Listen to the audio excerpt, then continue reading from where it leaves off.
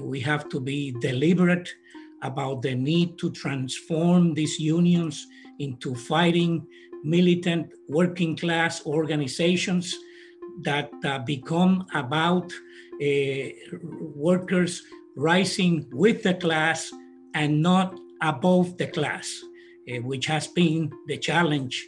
uh, that the trade union movement has faced historically in America, unfortunately,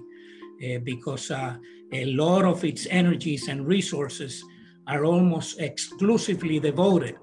uh, eh, to raise the standard of living of its members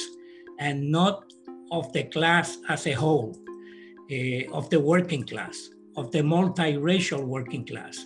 because this is indeed the only advanced capitalist country that has a historic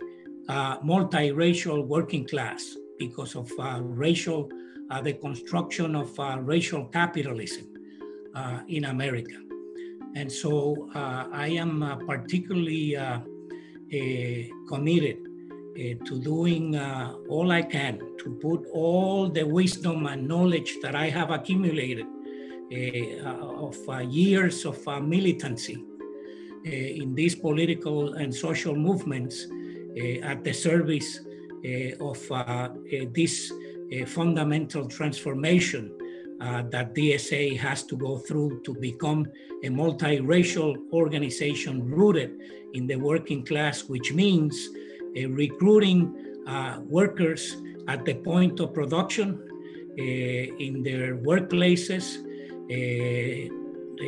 transforming the base of the organization into a more substantial